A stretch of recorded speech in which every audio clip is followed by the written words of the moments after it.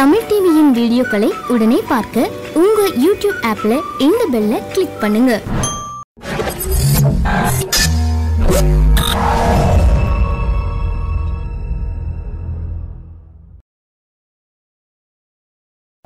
ஒருவரது உடலில் இரும்பு சத்து அளவுக்கு அதிகமானால் சந்திக்கும் பிரச்சனைகள்.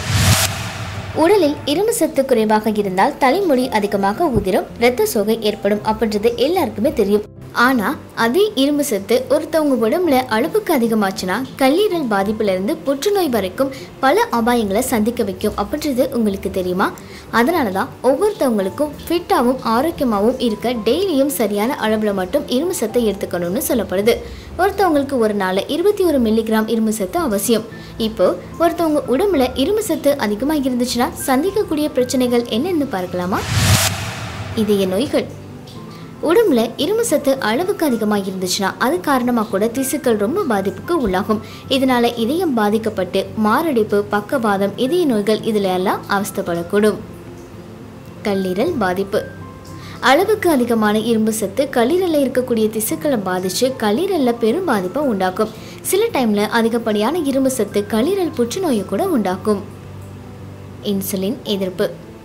அதிகமான இரும்பு சத்து கொழுப்பு நிறைஞ்ச உணவுகளை சாப்பிட்டோம்னா வளர்சிதை மாற்று நோய்களுக்கு இது வழிவகுக்கும். அதிலும் குளுக்கோஸ் கொழுப்பு வளர்சிதை மாற்றத்தில் பாதிப்பை ஏற்படுத்தும். ஆஸ்டியோபொரோசிஸ்.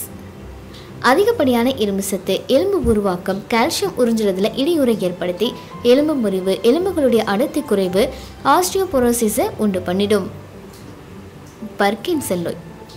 பர்கின்சன் நோய் அப்படின்றது ஒரு மூளை சம்மந்தப்பட்டமான நோய்ங்க. அதிகப்படியான இரும்பு சத்து பர்கின்சன் நோயை உண்டாக்கும் அப்படின்றது தெரியுமா?